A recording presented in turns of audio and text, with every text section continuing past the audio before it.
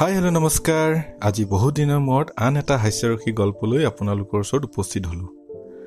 গল্পটিৰ নাম নমস্কাৰ গুৱাহাটী।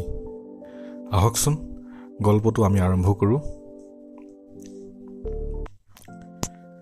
খগেনে গাঁৱৰ আহঁতজোপাৰ তলতে থিয় হৈ গুৱাহাটীমুখী একমাত্ৰ ৰাতিপুৱাৰ বাছখনলৈ ৰৈ এঙামুৰি মাৰি আছে।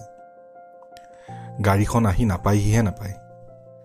ৰাতিপুৱাতে পইতা ভাত একাহী মাৰি অহাত চিলমিলকৈ টোপনিটোৱেও জোকাই আছে। গৰখীয়া সবাহত পোৱা নতুন ধুতিখন আৰু বগা ৰঙৰ চাৰ্টটো পিন্ধি সি হাতত কলা ছাতিটো লৈ বাল্যকালৰ বন্ধু ৰমেনৰ ঘৰলৈ বুলি যোৱাৰ পথত। ৰমেন গুৱাহাটীৰে বাসিন্দা। বিয়া বাৰু কৰি ৰমেন চহৰতে থিতাপি ল'লে। বিহুত গাঁৱলৈ অহাত খগেনক ৰমেনে নিজৰ ঘৰলৈ এপাক মাৰিবলৈ নিমন্ত্ৰণ জনাইছিল।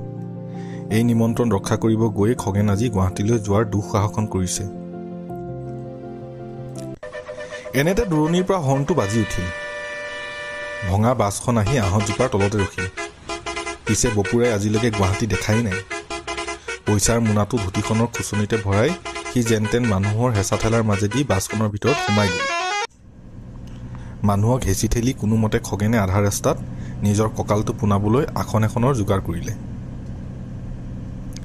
হঠাৎ বাছৰ কণ্ডাক্টৰজনে কৈ উঠিল দাদা ভাড়াটো দিয়ক। সি তপৰাই কৈ উঠিল অঁ ভাইটি কিমানহে ভাড়া? কণ্ডাক্টৰজনে ক'লে দুশ টকা সোনকালে দিয়ক। সি কৈ উঠিল লোৱা এইকেইটা। এশ টকাৰ নোটখন দেখা পাই কণ্ডাক্টৰজন সৰ্গহস্ত হৈ পৰিল। সি খঙত সুধিলে এয়া কি দিছে? আৰু দিয়ক এশ টকা। খগেনে কৈ উঠিল কি কোৱাহে আধা ৰাস্তাত বহিব পাইছোঁ আধা পইচাই দিম। আৰু নিদিওঁ হ'ব যোৱা এশ টকা বহুত হয়। কণ্ডাক্টৰজনে খঙত সৰ্গহস্ত হৈ কৈ উঠিল আপুনি বাছৰ পৰা নামক নহ'লে সম্পূৰ্ণ পইচা দিয়ক। কি গাঁৱলীয়া মানুহ কিছুমান আহি চহৰ ঘূৰিব যায় একো বুজিয়ে নাপাওঁ। বেচেৰা খগেন সকলো যাত্ৰীৰ মাজত কণ্ডাক্টৰৰ পৰা কথা শুনি লাজে ভয়ে এশ টকাৰ নোটখন খুচনিৰ পৰা উলিয়াই তাৰ হাতত থাপি দিলে। আৰু কৈ উঠিল ল এশ টকা। আৰু কাক গাঁৱলীয়া ক'ব আহিছ? তই কোনখন চহৰ পৰা আহিছিলি?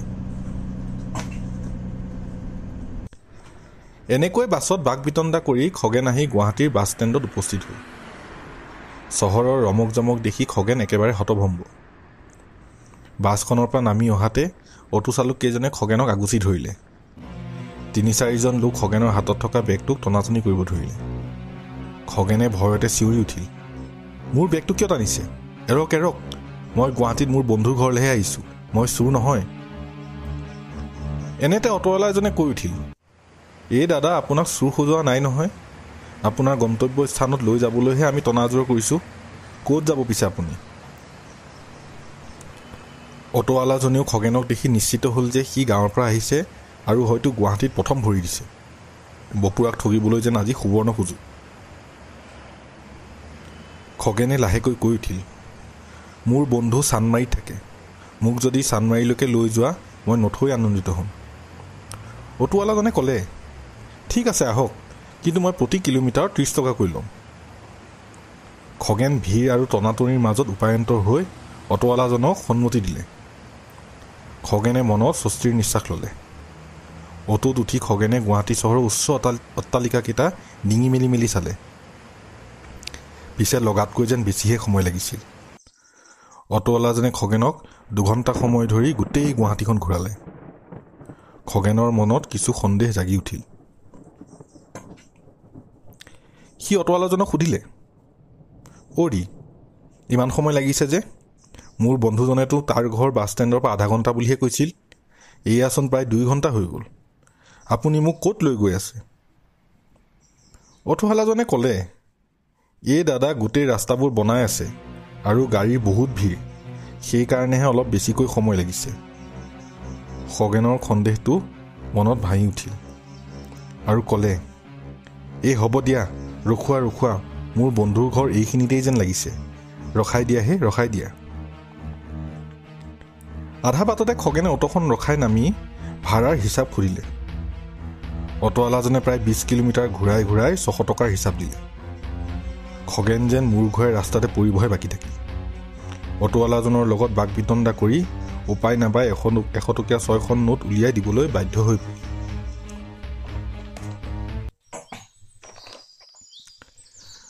উজান বজাৰ গণেশ মন্দিৰৰ কাষতে উপায়হীন হৈ খগেন গছ এডালৰ তলতে ৰৈ পৰিল। চোকা ৰ'দত বেচেৰা খগেনৰ ভোকটোৱেও পেটত কলমলাই আছিল। ওচৰতে স্কুলীয়া ল'ৰা ছোৱালী কেইটামানে ফুচকা খাই থকা দেখা পালে। লোভনীয় বস্তুটো দেখি খগেনৰো জুতি ল'বলৈ মন গ'ল। সি আহি ওচৰ পাই দোকানীক বিছ টকাৰ এক প্লেট ফুচকা দিবলৈ কোৱাত দোকানীজনে অলপ সময় ৰখিবকৈ চাধা এপালি হাতেৰে মলিবলৈ ধৰিলে। চাধা পালি মুখত ভৰাই হাতখন নোধোৱাকৈ দিবলৈ ধৰাত খগেনে ঘীণতে হঠাৎ কৈ উঠিল এহ নালাগে দিয়া ভাইটি। পেটটোচোন কিবা খামুচ মাৰিহে ধৰিছে হঠাৎ। ওচৰতে কিবা আছে নেকি বাহিৰলৈ যোৱা ব্যৱস্থা? দোকানীজনে কৈ উঠিল অঁ আছে। ওচৰৰ উদ্যানখনত যাওক তাতে পাব। যেনে তেনে খগেন মিছা মাতি আহি উদ্যানখনত অলপ জোৰ ল'বলৈ নদীৰ পাৰৰ বেঞ্চখনতে বহি পৰিল। কোনো নেদেখা ব্ৰহ্মপুত্ৰ নৈখন সি ৰ লাগি চাবলৈ ধৰিলে। খগেনৰ যেন আজি দিনটোত বিপদে লগেই এৰা নাই। প্ৰতিটো পলতে মানুহৰ ঠগ আৰু লাঞ্চনাৰ সন্মুখীন হ'ব লগা হৈছে।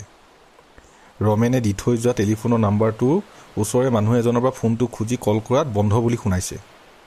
বেচেৰা খগেন যেন আজি সাংঘাতিক বিভূতিত পৰিল।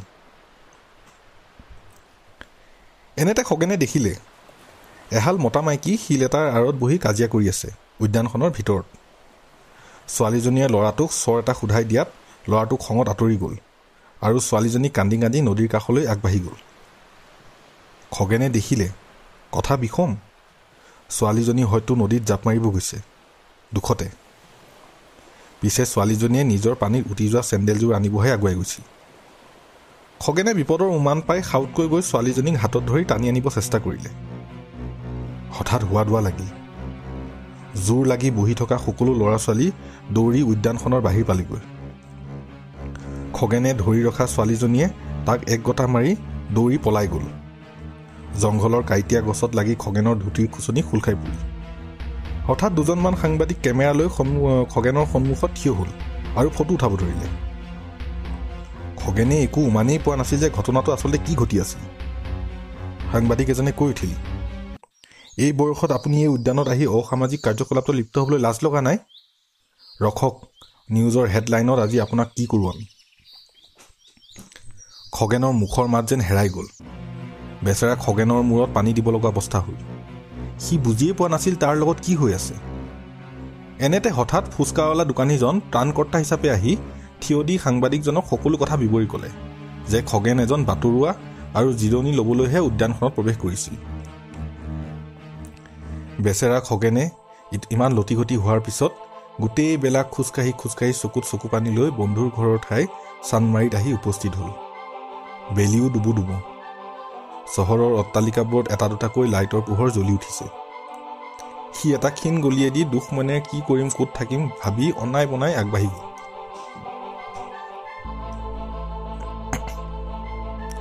হঠাতে বাইকত দুজন ল'ৰাই উঠি আহি এগৰাকী মহিলাৰ ডিঙিৰ পৰা চেইন এডাল কাঢ়ি অতি বেগেৰে বাইকেৰে পলাব চেষ্টা কৰিলে। মাইকী মানুহজনীয়ে চিঞৰিব ধৰিলে। মটৰ চাইকেলখনত উঠি অহা চোৰকেইটা খগেনক পাৰ হৈ যাবলৈ ধৰোঁতেই সি কলা ছাতিটোৰে ল'ৰা দুজনক মটৰ চাইকেলৰ ওপৰতে এটা ৰাম টাঙোন সোধালে। দুয়োটা চোৰ মটৰ চাইকেলৰ পৰা তলত পৰিল। হঠাৎ ওচৰ পাজৰ মানুহ গোট খাই ঠাইখিনি হুলস্থুলীয়া কৰি তুলিলে। পুলিচ আহিও ঘটনাস্থলীত উপস্থিত হ'ল। বহুদিনৰ পৰা সেই অঞ্চলত মানুহৰ চেইন চুৰ কৰি উপদ্ৰৱ সৃষ্টি কৰা গভাইত চোৰকেইটাক ধৰাত মহিলাগৰাকীৰ লগতে পুলিচেও খগেনৰ অতি প্ৰশংসা কৰিলে। পিছে খগেনৰ মনতহে একো সন্তুষ্টি নাছিল।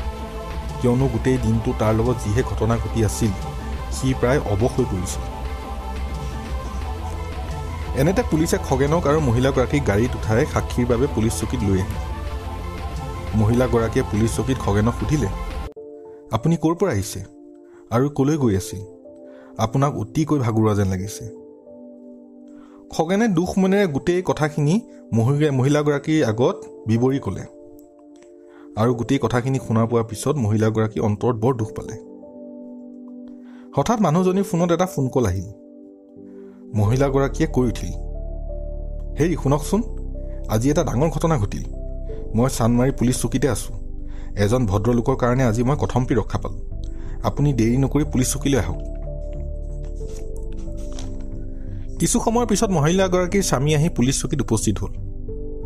খঙেৰে আমন জীৱনকৈ বাহিৰৰ বেঞ্চখনতে বহি আছিল। হঠাৎ মহিলাগৰাকীয়ে খগেনৰ কাষলৈ নিজৰ স্বামীক চিনাকি কৰি দিবলৈ লৈ আহিল। তলমূল কৰি থকা খগেনে হঠাৎ মূৰ তুলি দেখে মহিলাগৰাকীৰ স্বামী আন কোনো নহয় ৰমেন। দুয়ো আচৰিত হৈ চিঞৰি উঠিল।